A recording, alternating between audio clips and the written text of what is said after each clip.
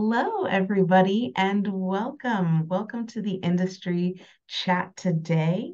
Uh, we're just going to allow a couple seconds to, uh, you know, let folks continue to uh, enter the chat or enter enter into the the webinar. Um, and uh, hey, feel free to get a look at our starting slide and get inspired and motivated for a chat today. I know I'm excited. How are, how are you doing, Isaac? Doing good. Excited to be here. Thanks for inviting me. Awesome. That is great. All right. Well, so let's go ahead and get started. Uh, my name is Jenna Quinn, and it's my pleasure as the Assistant Director of Alumni and Affinity Engagement to welcome you all to this 49er Industry Chat. Um, a couple housekeeping items. We just need to inform everyone that this session is being recorded and so what that really means for you is that this will be available for you on demand at our website, www.csulb.edu slash alumni. Feel free to watch it again or share it with a friend or anyone you think might get something out of the chat today. Um, and since this is a webinar format, if you're here with us today live, uh, we encourage you all to use the Q&A box at the bottom of your screen to submit your questions for our guest speaker uh, and we'll make sure those get get relayed on over to him. Uh, and with that, it's my pleasure to introduce Isaac Bermudez. Hi, Isaac. Hi. Hello. Hi, everybody. Hi again. Let me just uh, read your read your bio so folks can kind of get a sense of you know who you are and and and what you're doing here. Um, so Isaac has been uh, providing services in applied behavior analysis (ABA) since 1998. He's worked in executive leadership positions in, behave, in the behavioral health industry for the last 15 years and uses the principle of organizational behavior management to guide and support uh, guide the support and growth of organizations. Over the past 15 years, Isaac has led ABA departments, started companies, and has grown organizations over 500% while earning awards for quality of service and employee satisfaction. In addition to Isaac's primary role at BDA, uh, he is uh, he is an invited speaker for state and national conferences, as well as a co-author of articles and chapters. Most recently, the textbook on multi multiculturalism and applied behavior analysis. Uh, Isaac is the co-founder of the Latino Association for Behavioral Behavior Analysis, uh, as well as uh, the mentorship program called, uh, and I'm gonna I'm gonna mess this one up, Isaac. I think it's a mentorologist. Correct. Ah, okay. You nailed it. which is dedicated, which has a dedicated YouTube channel that bears the same name. Uh, finally, Isaac is developing a performance management app called Smash My Goal that will be available in early 2024 on iOS and Android. Uh, family is everything to Isaac, who is a proud husband and father. Wow, I there's just so much there. I don't know how we're gonna. A bit of a mouthful. I, I apologize. I don't know how we're going to pack this into 45 minutes. So I think the best thing is to kind of just get started. So, um, if you don't mind, if we could start off with a little bit of background about yourself, if you could share a little bit about your your experiences that kind of led you to pursue a degree at the beach. Yeah. Uh, I'd be happy to. Uh, and um, I, I, think where I'd like to start off with that question um, is uh, just early on in my childhood. And I, I, promise I won't go through all the all the different steps, but um, I, the earliest that I remember really having thoughts about career and so forth was around middle school, where it really resonated to me that I wanted to help others. Um, I didn't know what that meant, but I just wanted to help others. That was a pull, a calling that I had that has persisted uh, in my life and in my career from that point to where we are now. Um, I also I grew up in Orange County, uh, so not too far away from Cal State Long Beach, and you know was the son of two immigrants who uh, didn't have a college education. Um, but they really valued education itself. So, uh, you know, they sacrificed and did their best to send me to uh, Catholic schools and so forth, um, and really instilled in me the um, the value of pursuing an education and preparing myself. So, uh, those values really uh, really stayed with me. And after high school, I uh, went to a community college uh, where I did my GEs. Um, and around that time, and I don't know why, but I had my mindset on I wanted to go to Cal State Long Beach. That was my singular focus. So I used the community college experience to prepare myself to make that transfer and that transition.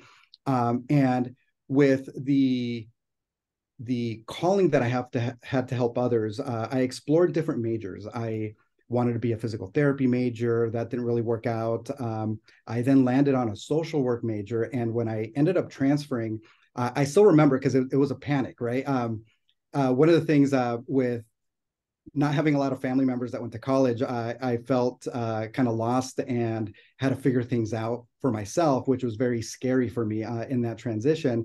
And I remember transferring to Cal State Long Beach uh, as a social work major and uh, going to the department and enrolling in uh, the program uh, to find out that the program that I wanted to roll, enroll in, which was the child and family side of things, uh, was impacted and was not accepting new students. So the panic, I, and I still, it's bringing back those uh, those feelings again.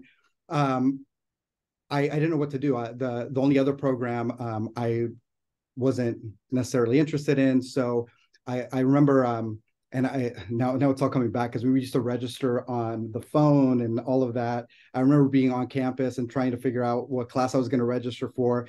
So I had to make a one of my a quick pivot during that time and say, if it's not going to be social work, what else can I do?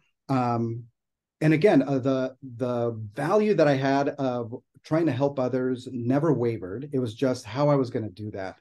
Um, so, uh, you know, I, I could say um, my career has been has been really wrapped into a variety of divine interventions. Um, during that time, I I remember really enjoying psychology, and like it was at that point that I made a switch to becoming a psychology major, and I'm very grateful for those circumstances that happened because uh, I ended up joining the psychology department, uh, going through that major and graduating Cal State Long Beach as a psychology major. And that kind of flung me into, you know, what I do now. So um, that that that was my what I remember of my college experience. And, you know, it was just um, a whirlwind, but, you know, I couldn't be more grateful for all of the circumst- circumstances that happened because, you know, those were the things that led to where I am now.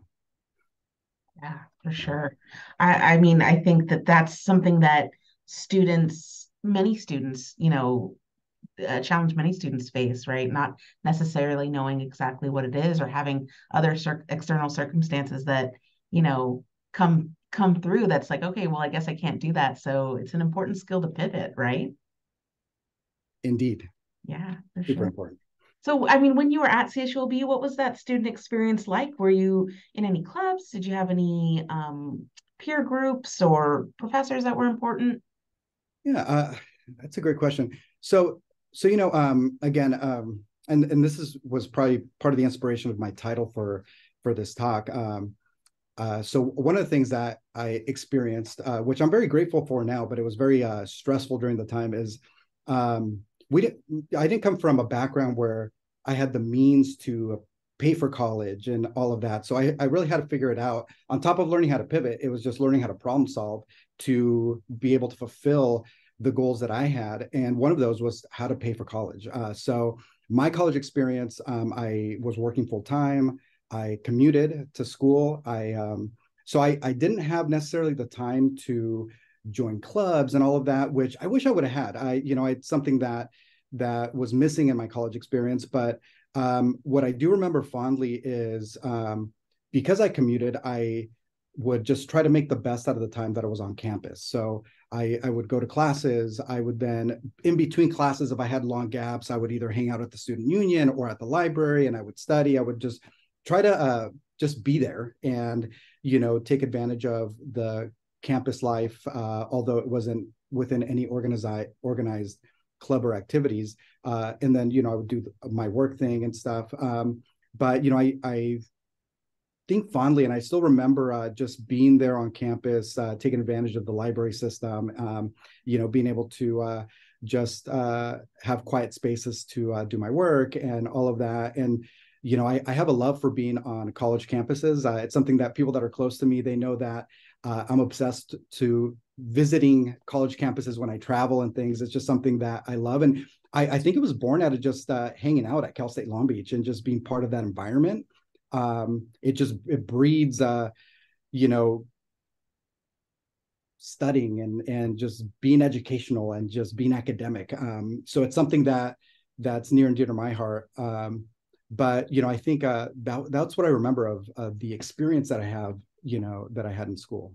No, I totally know what you mean. There's just that energy, that electricity that just sparks, uh, you know, sparks inspiration and and and innovation and and tying it back to the title of your chat um I, I loved it i mean from underdog to intrapreneur i feel like that's not a, a term you hear very often i mean would you would you explain what that means to you sure. um yeah happy to so um you know i, I think a, a more common word is entrepreneur mm-hmm. um and you know i've had the the chance to experience that where um it was in 2009. Uh, I'd been in my profession for a while, about 10 years, and um, I had the itch to open up my own practice. Uh, so um, I took the leap into entrepreneurship, and it was uh, another uh, scary leap, uh, something that I wasn't prepared for, but it was something that I was able to, with a partner, build a successful practice. Um, but there were there were things about it that didn't work out. Uh, and um, I was there for three years. I ended up uh, selling my portion of it. My partner remained, and he kept on with the company. But I was able to learn a lot. It was uh, kind of going to the school of hard knocks on that one, um, just to learn all the aspects of opening up a business, uh, the startup, the uh, you know securing funding, and so forth. Um, and what I what I pulled from that experience is you know the entrepreneur entrepreneurial behaviors and skills that you could use in any position. Um, you know, sometimes we glamorize being an entrepreneur, uh, but you know, it's um, it's a lot of hard work and it's a lot of risk taking, and not everybody is wired the way an entrepreneur is. Um, and I tell all the entrepreneurs that I work with. Uh, that you are all wired in a very different way. Uh, but even if I don't have some of those wirings, um, the entrepreneurial spirit and the behaviors that one engages in can be utilized within a company. And i still felt like i had that that in me the the uh, part some part risk taking being creative.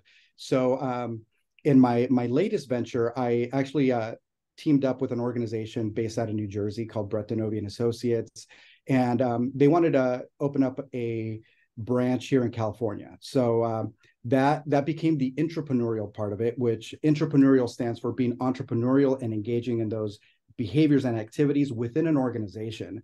Um, so if you're looking for a definition, um, and and I set out to do that. I opened up a practice again um, from scratch, uh, and um, with with the security of having an organization that was stable uh, to really back me and support me. Um, so it was a a less scary venture, but still uh, required the risk taking and all of that. Um, I assembled a team. You know, we opened up, um, you know, we opened up some contracts with with funding sources, and we started providing work. Um, so all of that was very entre- entrepreneurial, um, and you know, and along the way, um, you know, I founded different projects for the company to address company needs. Um, one of those being mentorologists. You know, there's uh, just and there still is an extreme need in our field in applied behavior analysis uh, with the uh, growth uh, in the last five years. Um, we have a lot of young professionals. Um, there's just a huge need for mentorship. So I opened up a uh, project called Mentorologist to offer mentorship to young professionals in our field. Um, and that began around uh, the end of 2019. Um, so we were just meeting in person, offering free mentorship. I was networking and connecting with the community, offering that service. Uh, so again, when you talk about entrepreneurship, it's creating something to fill a need um, within an organization. Um, COVID came, and we had to pivot to uh, to this type of format. So uh, it still remains, um, but the creativity part in it, you know, has led me to um, to uh, not only offer webinars now that reach all over the country, um, but also, you know, we partnered up in doing conferences. Uh, the last one was in early 2023, this year, early this year in Fort Lauderdale, uh, where we partnered up and we did a conference uh, there through uh, the mentor mentorologist uh, program. And um, and we started uh, offering and opening up a YouTube channel to offer free mentorship content for those professionals in our field. Uh, but essentially, it could also be for any field because it's about just mentorship and performance management and getting the best out of ourselves and others. Um, so again, uh, that I consider those things entrepreneurship. Um, along the way, um, if you'll notice, uh, one of my biggest passions in life is mentoring others, which I think aligns with uh, the mission that I've read about this program as well. Um, Smash My Goal is an app that I've been working on for about a year, year and a half. Um, and that's uh, aimed at supporting people to level up and trend up in their goals. Um, so that's something that I'm really excited about because it's at the heart of what I'm all about. Um, and it supports people to keep on growing and performing at their best by uh, self-monitoring their goals, reporting out to a mentor, and all the things that go into goal tracking and stuff like that. So, um, so that's my entrepreneurial story and a little bit about what that is. Yeah, that's incredible. But I think I think you know I really want to take a step back and kind of like clearly you're doing so much, but what what how did you know that it was applied behavioral analysis that you wanted to go into in the first place? What was that what was your journey like into that field? Was it an intentional one or was it something that you know you fell into after school? What what did that look like for you? Yeah um that's that's an interesting question. Uh completely fell in fell into it. Um so i i i remember as I was uh, set to graduate from Cal State Long Beach, I was working at Disneyland, and that's what got me through school. But Disneyland was not my profession, and I wanted to again help others, and I wanted to get into my field. So, um, uh, so I think as uh, right before I, I, was about to graduate, I pretty sure I went to the career center and you know did the activities of looking for uh, positions that were available. Um, and I identified all the ones that stood out to me that revolved around helping others. Um, and I just sprayed my resume out uh, to see uh, if I it would land anywhere uh, where I could be of help. Uh, and shortly after, uh, I would say a few months after graduating, a company called me uh, and they had a position. So I went and um, and it ended up being a company that provided it was in a an adult day program for individuals and adults with developmental disabilities. Uh, part part of my pull, I always saw myself as wanting to work with you know individuals with severe needs, challenges, and be able to be of support with those individuals. And I remember driving to that first interview, uh, freshly graduated with this degree, not sure what I was going to do with it, and I remember driving and seeing you know individuals that were physically challenged, uh, behaviorally challenged, cognitively challenged. And I remember getting excited because I felt like this is what I went to school for. And this is what, you know, I feel like I'm going to get closer to what I really wanted to do. Um, so I interviewed, I got the position. And that's how I kind of stumbled into applied behavior analysis uh, because that particular program uh, had a behavioral approach. Uh, you know, they utilized a lot of the principles and concepts of applied behavior analysis uh, and that's where I was able to really get a real life application of the science. Because up until then, um, you know, I, I always share that when I was at school, uh, the one class that I took was, the, I, I think it was um, a learning class. And that was one of my least favorite psychology classes. Um, I so it's interesting that now as a profession, I actually do that. But uh, the application part of it really, uh, really gelled together what I what I learned there, and it it made more sense. So what ended up what was uh my least favorite class ended up being my career. So uh, it's just interesting how things happen. But you know, I I totally fell into it, and I fell in love with applied behavior analysis then. Um, so uh, soon after that, you know, I I my calling was really working with children. So you know, I changed companies and. I uh, started working with kids doing applied behavior analysis in schools and homes um, really specializing in working with children with autism. Um, so I did that for about four years. I, I, got close to getting burned out and leaving the field. Um, and again, you know, with another divine intervention moment, um, as I was in my last interview for the probation department and I was going to leave applied behavior analysis, um, I got a call the day before my last interview and I got an opportunity to become a supervisor. Um, and that really intrigued me. So I took a turn and I I took that position. I didn't go to the last interview, and that's what sealed my love for applied behavior analysis. And that's when I chose uh, and made the decision to go back to graduate school to really um, focus on making applied behavior analysis my career. I went to Cal State LA, which was at the time one of the only um, brick and mortar programs that offered an applied behavior analysis program um, here in, in Southern California. So uh, I did that and uh, became a board certified behavior analyst in 2005. Um, and now have been doing this for 25 years. Uh, this year was my 25th year doing applied behavior analysis. So yeah, that's that's me stumbling into it and just landing into something that I couldn't imagine doing anything else. I, I completely love what I do. Yeah, no, I mean, stumbling into it, but then running with it, right? Um, but I think, uh, you know, something that's that people really do want to know, or, or, or folks mm-hmm. want to know when they're um, like considering careers, is you know, what's the day to day look like? Someone working in applied behavioral analysis. What is what does a day look like? A typical day? Yeah.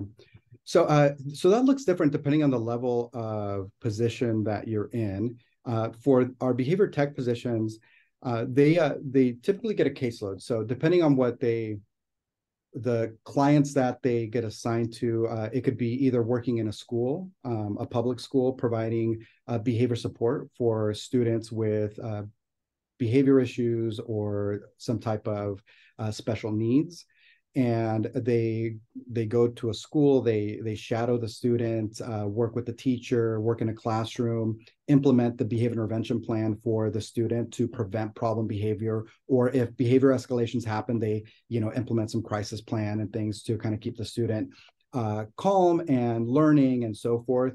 Um, so that's kind of a full day in school for those staff that work in schools they might then go from there to a home program and they do a let's say a two hour session implementing the uh, behavioral program for a child in their home. Um, or or if they have all home programs they might be traveling to about three clients in a day uh, doing two hour sessions from home program to home program um, to accumulate their hours and their schedule. So that's at the tech level. Uh, a supervisor or bcba for those that aspire to uh, become a uh, become board certified uh, they would have a, a, caseload and travel around to supervise and oversee the cases that are under their caseload. Uh, so they might go into a school and see how their students doing, um, support and mentor their technician to uh, fine tune the plan or problem solve things that aren't working out. And then they might travel to another staff and student. They might take meetings. They uh, will be writing reports. Um, so there's a mixture of the clinical work and the clinical oversight, as well as the administrative part of summarizing progress, analyzing data, and so forth. Um, and then at the executive level, uh, we support more systems in terms of, you know, um, how a program is working and they lead a program uh, for either like early intervention or uh, the behavioral health side of it or our school program uh, and they're uh, putting systems in place to make it easier for our staff to uh, work. They uh, support the leadership on um, any issues that are going on or how to keep things thriving and so forth. Um, uh, and then, and then what I do, I, I spend a lot of my time, um, you know, in uh, in meetings, uh, providing executive coaching, providing mentorship to our leaders, um, supporting their growth and their professional development. Um, you know there's the financial part of it of making sure that our company stays sustainable and we keep our lights on and we keep growing. Um, but a lot of it uh, is a lot of mentorship is just uh, working with all of our team. I just um, uh, left a meeting with uh, one of my one of my managers uh, and we were coaching and you know supporting him to uh, you know help support the growth of his department and so forth. Um, so my weeks are recurring um, mentorship meetings with my executive team, um, uh, along with you know some paperwork that goes along with it and any other administrative stuff. But yeah, those those are different layers of what work looks like. Yeah, I mean, I think you know it, it almost seems like there's there's a clear ladder uh, of just different uh, you know a, a, journey on this on this particular path. Yeah, uh, yeah, there is. It's it's pretty defined, especially with our field requiring certain certifications to do a certain type of job. Um, you know, to be able to go from a tech to a supervisor, one either needs a master's degree or a board certified or becoming a board certified behavior analyst. Uh, and then after that becomes, you know, just uh, the experience and the um, the performing what performance one has to uh, to be able to do executive type work. Um, you know, I, I, know at our company we really really pride our, ourselves, and one of our values for the company is to find people's niches. So um, I, I, don't like to make the ladder too uh, linear because I also think uh, our staff are motivated by being able to have unique opportunities to uh, do different things. So uh, we take a look at our staff's passions and see if we could use that uh, in the company. Um, and we've been able to do that with uh, any of our staff that have a real defined passion. Uh, you know, like for instance, we have a staff that loves music, so he created a music program for our clients, and he kind of created his own niche within music. Um, and we have you know different things to offer all of our staff the opportunity to keep on moving up. So it's not just only one way. There's a variety of different ways to grow. Yeah. You know, so in the field in general and and also for you yourself um you know how is the work life balance mm. sort of blend i know that when you when you're working with folks who have you know um different struggles right like it, it's very easy to i mean you said it yourself you're kind of getting burnt out um so what is that what is that battle like with work life balance and and any advice for what you found works for you yeah. Well, I you know I think uh, work life balance can be a struggle in our field because so much is asked of us at any level, um, emotionally, physically, time wise, and typically those that are drawn to this profession are natural givers, and you know they uh, they have a passion for helping others. So it's very easy for somebody to get caught up in over giving to the point where they easily get burned out and they have nothing else to give. It's like the whole um, oxygen mask analogy of an airplane. Um, so, so I so I think um, being aware of one's capacity is something that's really important because the field will want from you more than what you could physically give. So one has to be very intentional with being aware of what is my max and just making sure that that you don't exceed it. So uh, being able to know one's limitations and know when to say no, know when um, to set limits, uh, know when to communicate. Like I'm getting to my max. Like what do I do? Type of thing, and getting that type of coaching and support is going to be really important. Uh, and everybody's different. Everybody has a different capacity. Um, so on top of that, I would say the the flip side of it is I think a good skill and something to be aware of is how can one expand their capacity and their ability to endure and persevere uh, because um, that will allow them to handle higher stress and higher volume type of work at a higher level. Um, one has to have, you know, a pretty big capacity to be able to handle, um, you know, the management responsibilities that one gets when they get to that point. So I think one is being aware and being uh, being good about having limits and boundaries, but also while working on how can I expand my bandwidth you know, and my ability to endure to be able to in the future uh, handle a higher volume work or maybe something that's more stressful. Um, and so we're not so brittle, you know, with the moments that that come our way. So I think both things um, I would say are important, and um, and the idea of self care is also something that's really critical um, in the work that we do uh, because you know our work for, at all levels is stressful. You know, we're dealing with uh, with individuals with needs and we're dealing with situations where we're in the middle of you know phys- physically aggressive behavior or any type of uh, of other behavior that we're dealing with. Um, so the idea of self-care and not taking things personally and stuff is going to be really important to be able to do this day in and day out. Uh, or else uh, if any of those things are off uh, the um, people easily get burned out. So um, as a leadership team we try to be as sensitive and as aware of um, the burnout factor or any uh, mental health issues that come with doing this type of work and just offer staff support. Um, sometimes you have to save them from themselves because they want to do more than what they could do. And we're like, well, you don't have to do that much. Keep scale back. Um, uh, and so we have to just be really aware and set a culture and an environment where um, you know, it's important for people to engage in self care and to take care of themselves to be able to give to others. So, you know, we have very um, distinct values around that. Yeah. Awesome. Um, you know, I think though, right after right after that, you know, I think it's important to kind of highlight, you know, what makes the job so special, right? So, you know, what do you think is the most rewarding part of your job? And also, what do you think is the most challenging part of your job?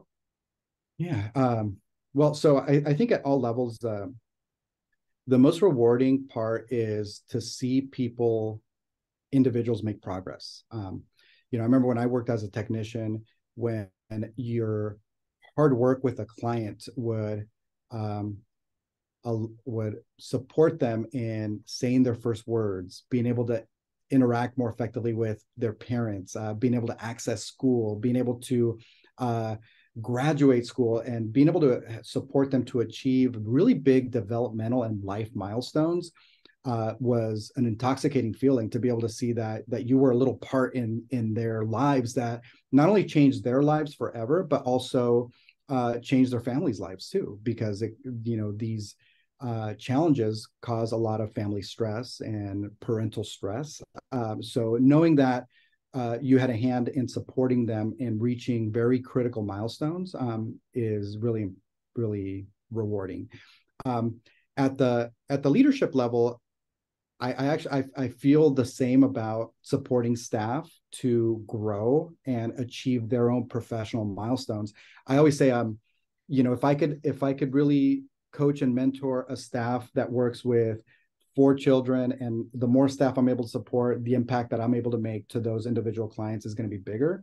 So um, being able to see uh, our staff grow and you know develop uh, reach their own milestones professionally um, is equally rewarding to me. Um, so I, I, just to me uh, the idea of being able to support people to grow and go beyond you know their limits and capacities um, you know, is something that's super rewarding. And it, to me, to be able to see those that I've been able to support and who are now, um, you know, really making significant impacts in their profession, um, and to know that you know you might have had a little bit of part in that through the mentorship and coaching, uh, is everything for me. I mean, that's that's why I do what I do.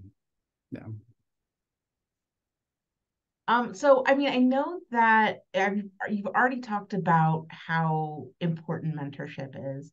And um, so I feel like what I what I really want to ask you is, you know, how do you have a successful mentorship? What does a successful mentorship relationship look like in your field?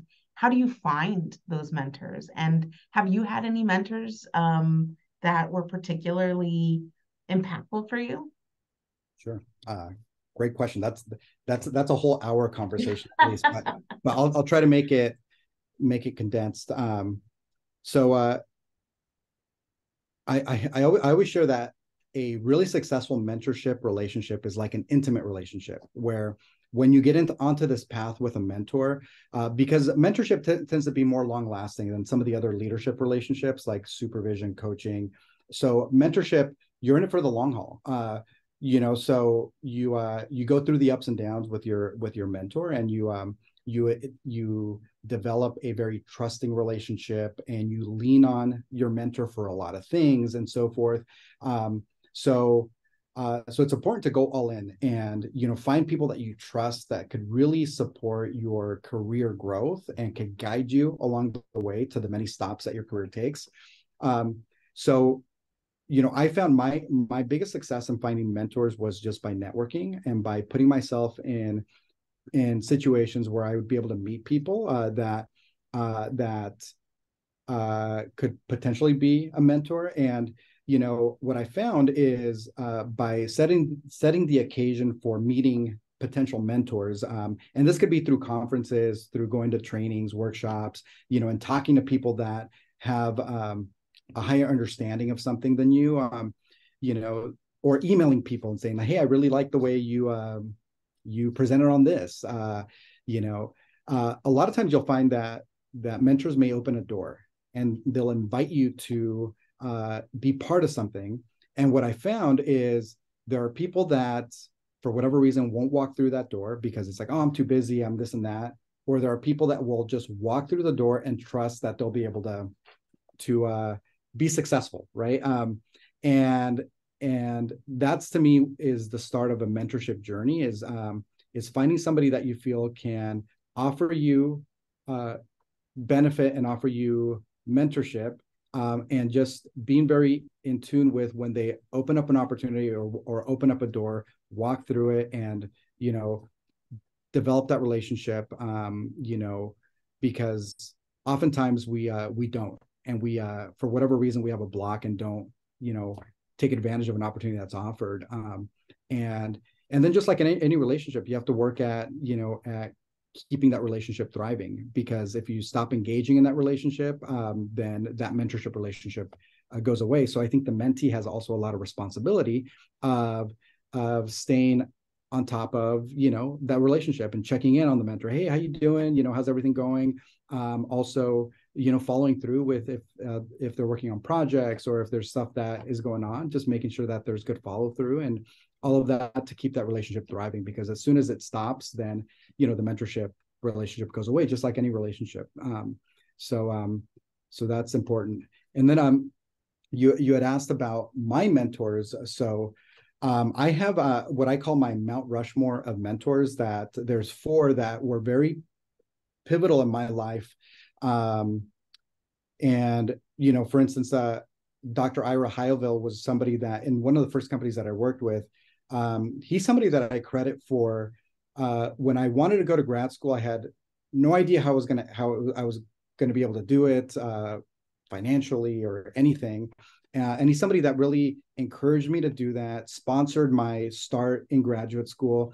And I'll forever be grateful because he was somebody that was very invested in uh, that phase of my life. Um, and to this day, you know, I, I, I still stay connected with them. I, um, I, I mean, one of the things that I, I'm all, I always try to show gratitude to those people that really were pivotal in my life. Uh, he being one of them, because um, without, without his support, I wouldn't be where I'm at today. And I think that's one of the uh, byproducts of good mentorship is mentors will support you in a way where uh, your life and career is ever changed because of the investment that they made in you.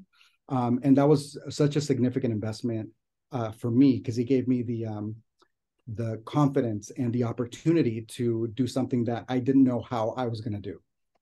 Um, and then uh, as I got into my profession, uh, Dr. Kim Heinen was uh, a director at one of the companies that I work with, and she really um, showed me how to be a professional behavior analyst. Um, she offered me the opportunity to overlap with her, and I was able to see what a professional behavior analyst did, uh, and uh, showed me a lot of a lot of things that I still use to this day. Uh, so I credit her with uh, really teaching me to be a professional behavior analyst and what that means.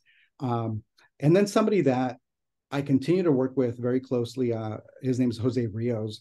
Um, he's somebody that really and to this day you know um, he uh, he opened a lot of doors for me and introduced me to a lot of people we've uh, i think over the last uh, 15 years we've um, we've done a lot of uh, state and national presentations together. Uh, he and I were co-authors of the uh, chapter in the multiculturalism book that you referenced. We've uh, done many articles and stuff, and he's somebody that uh, not only opens doors for me to work on projects that I probably wouldn't work on on my own, uh, but he also pushes me when I think I'm at my limit. Uh, he's helped expand my capacity because it's like a little bit more. And when I think I can't do it, I end up doing it. And I look back going like, wow, like that. I don't know how I did it, but if it wasn't for him subtly pushing, um, I wouldn't have had that experience. Um, and he's somebody that's really expanded my my scope and my the ability of work and you know there's things that i wouldn't be doing now you know i'm on the board of the association for professional behavior analysts um, that's an international board. Little things like that uh, he opened the door for that. He's like hey i think you should really join this this board. I wouldn't have come up with it on my own but it's a mentor that says i see this potential for you and i think you should do it and has more confidence than you and really guides you in that direction. Uh, and that's really the sign of really good mentorship somebody that that believes in you and sometimes more in you than you do yourself that pushes you towards that that next level um, and to me i'm forever grateful for that Um, and Brett DiNovi is my is somebody that I work very closely with, and he uh, from a operational and business side has really supported the uh, entrepreneurship uh, activities that I'm doing now. So, um, so I the, those to me are uh, stand out as just pivotal people in my life that have been key mentors. No, awesome. I and and you know clearly they've inspired you to to reach all the heights that you have. Um, was it one of your mentors who uh, encouraged you to be a co-founder for the Latino Association for Behavior Analysis? And and what's that association really about? What is, how does it how does it serve? Yeah. Um, so uh, so yeah, uh, actually, uh, Jose Rios, uh, he was the the visionary of that, and uh, he um, came to myself and one of the other co-founders and just had this vision of you know starting to really tackle diversity in our field um, and this was before 2020 before a lot of the social unrest and all of that really started becoming um, currently more mainstream um, and so uh, i think it was back in 2015 we um, we started talking about creating this group to support uh, Latino professionals to have opportunities and to grow. When we took a look at our field, there was a lack of diversity in a lot of the leadership groups, whether it was those the boards that were leading our national associations or even uh, those that were leading companies uh, and so forth. So we we really wanted to um, provide a space for Latino professionals to uh, to get mentorship and learn and grow and you know get inspired to be the future leaders in our field um, and not be left behind. Um, so, so we set out to to do that with that mission in mind, and you know we've been doing it ever since. Uh, so we offer a lot of uh, you know mentorship and coaching opportunities. Um, Jose leads a intensive mentorship program for uh, professionals that are looking to grow, um, and you know, and what we've seen is um, is those that have been part of this association and have been really active, um, they have really uh, propelled themselves to uh, to be leaders and are not only leading companies but also now involved on a state and national level and supporting our field to grow. Uh, so so that that's really what we aim for, and you know we've been doing that ever since. Um, you know we have monthly webinars uh, that we that we do, um, and you know we uh, are looking to uh, do more in-person events next year to get people you know involved and you know just continuing to support those um, underrepresented groups um, to you know have the confidence and the uh, support to uh, become leaders. That's fantastic. And i mean I, I and i would be remiss if i didn't ask you to talk a little bit about your your app. Um, what smash my goal. I know you've touched on it a little bit here but um, i mean that's that's incredibly exciting. And and i don't think that it strikes many people as like oh i go into applied behavioral analysis and then i end up developing an app so what what is what is that like and can you tell us a little bit about it Sure. Uh, well, you know, I you know I think the the beauty of applied behavior analysis is, is that it's it's got very uh, specific principles uh, that drive behavior in the direction that we want. Uh, whether we believe in it or not, it's there, and the environment is, you know, uh, influencing our behavior. So with these principles, uh, and in particular, the my mentor and my boss who I work with, Brett, uh, and a colleague, uh, they wrote a book uh, called Behavioral Karma: The Five Laws of Life and Leadership that packages these five principles, which is pinpointing, goal setting, self-monitoring, reporting out, feedback, and reinforcement. Um, uh, and these are the this is a performance management package that uh, I use a lot in my leadership um, and to run the company.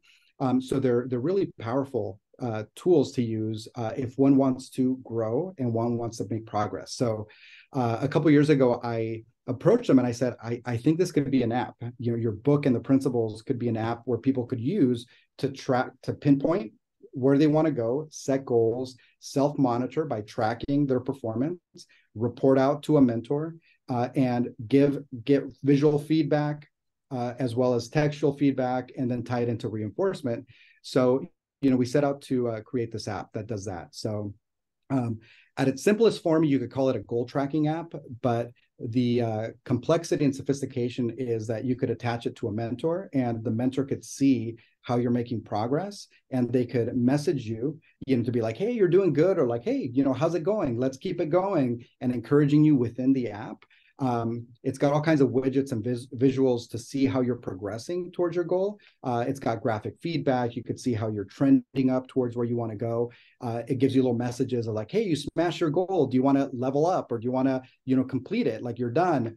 Um, so there's a, a, lot of it interactiveness to it. Uh, but for those that are looking to to advance and make progress, progress, which I hope everybody is looking at growing. Um, I mean, this is how you do it, and it's a, an intentional and deliberate way of tracking your progress. Um, and I think that's the part that's missing uh, in most people is people have goals and dreams, but the intentionality of actually pinpointing what that is and what they want, uh, setting a goal to it and a time frame to it, and measuring it uh, so that way you can move it uh, is something that's missing that I hope the the app, which not only is for behavior analysts, but it's all it's for anybody that wants to make improvements. Um, I hope that this is a solution to help them level up.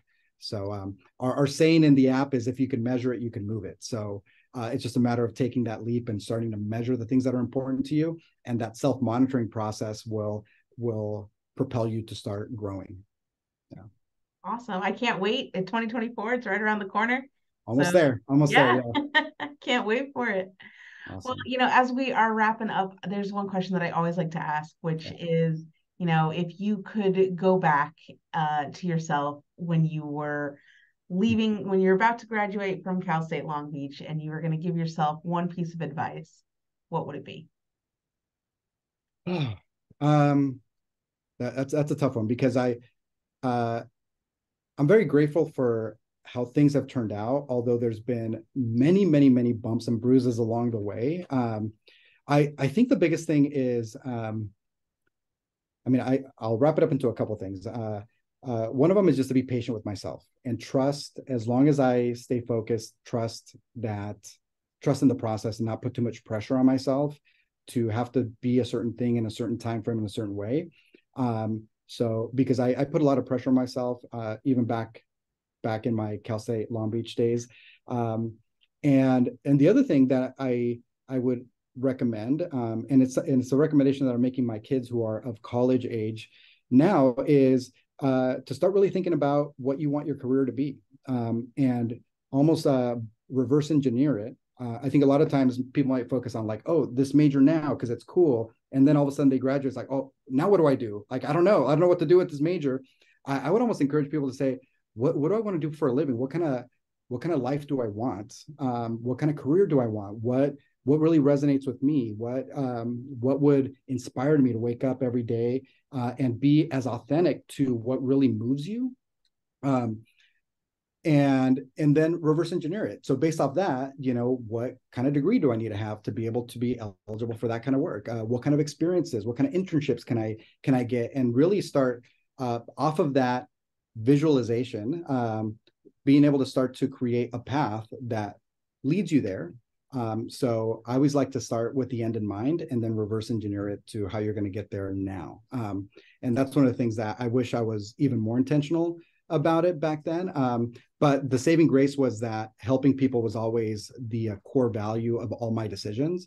Um, and it's probably what led me to where, what I'm doing now, because I've always wanted to just help people and be of service to people. Um, and that's what I get to do. So awesome. Yeah.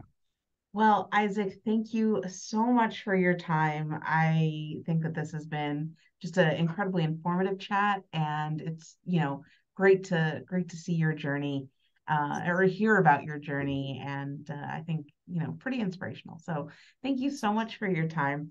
But um, if for, for those of you who are tuning in, also thank you so much for, for being here. Uh, if you have any questions uh, or want to just follow what we're doing, want to make sure you don't miss the next industry chat, you can follow you can follow us on any of those social media platforms or find us at www.csulb.edu slash alumni.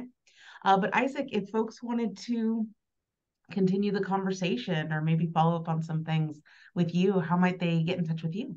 Yeah, um, I'm on LinkedIn. So uh, if they go to Isaac L. Bermudez at LinkedIn, uh, they could find me there. Uh, they could message me for whatever they need. Um, you know, I'm our company is uh, Brett DiNovi and Associates, uh, and specifically it's Brett DiNovi and Associates California. Uh, so uh, they go to www.brettdassociates.com and track me down there. Um, also, uh, if people go on YouTube and search mentorologist, uh, they'll find our YouTube channel with uh, content that is aimed at, you know, at providing mentorship uh, support and content. And then on the uh, iOS and app and Android store, uh, look out early next year for Smash My Goal, and you know, hopefully, people will get a lot of value out of that. Well, thank you so much again, Isaac, and uh, we really appreciate having you today. Thank you. And Thanks for for having me. you, yeah, awesome. And everyone else, see you next time.